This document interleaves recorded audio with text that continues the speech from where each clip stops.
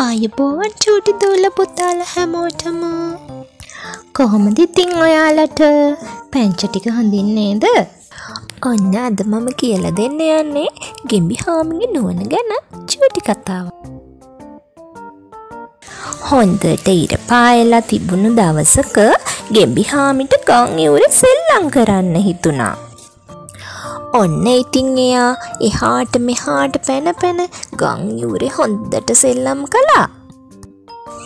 ඔන්න ඉතිං ඒ වෙලාවේ ඒ නැටුම දිහා හරි ආසාාවෙන් කෙනෙක් බලං හිටියා. එයා තමයි ගැරඩිරාල. ගැරඩිරාල හිටියේ ගහේ අත්තක හැංගිලා. එයා හිටිය හරිම්ම බඩකින්නේ. ටික්ක වෙලාවකින් එලියට ආපු ගැරඩිරාල ගෙම්බිරාලගේ පස්සෙන් පන්නන්න ගත්තා. අනේ ඉතින් ගෙම්බිරාල පණ බේරගන්න හයියෙන්ම දිව්වා. හති දාගෙන දුවගෙන යන ගෙම්බි හාමි ඔන්න රෙදි වගයක් වනලා තියෙනවා. ගෙම්බි හාමි එක මේස එකක් ඇතුළට රිංගුවා. ඔන්න ඉතින් ඊට පස්සේ ගෙම්බිරාල ගැරඩිරාල ඉස්සරාට පැන පැන ගියා.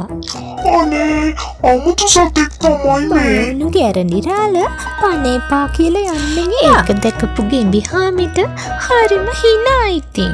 ඉතින් පුත්තේ ඔයාලටත් හිනා යනවා නේද මේ ගැරඩිරාල බයවුන හැටියට. ගෙම්බි හාමිට තැනට සුදුසු නොවන තිබුණ නිසා එයා බේරුණා. ඉතින් පුතේ ලස්සන අලුත් කතාවකින් අපි ආයෙත් හමුුවමු ඔයාලා තාමත් මගේ චැනල් එක සබස්ක්‍රයිබ් කරල නැත්තම් සබස්ක්‍රයිබ් කරන්න අමද කරන්න එපා. ඉහෙන්ෙන්